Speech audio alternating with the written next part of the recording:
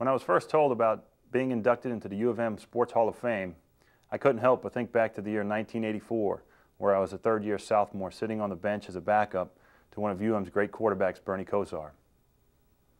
Not knowing if I'd ever get a chance to showcase my talents on the playing field, I very seriously considered transferring universities. Well, as you're sitting there tonight, thinking, as I thought over the past decade many times, boy, what a mistake that would have been for Vinny. But as you can well imagine, I'm very glad that I stayed. I want to say thank you and let you know how proud I am to be inducted into the U of M Sports Hall of Fame. I will hold this always very close to my heart.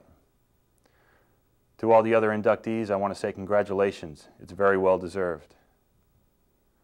My only regret is that I'm not able to be with you tonight to look back and reminisce on all the old good times that we had.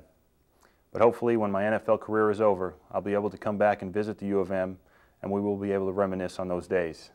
Until then, La Dolce Vita, which means a sweet life.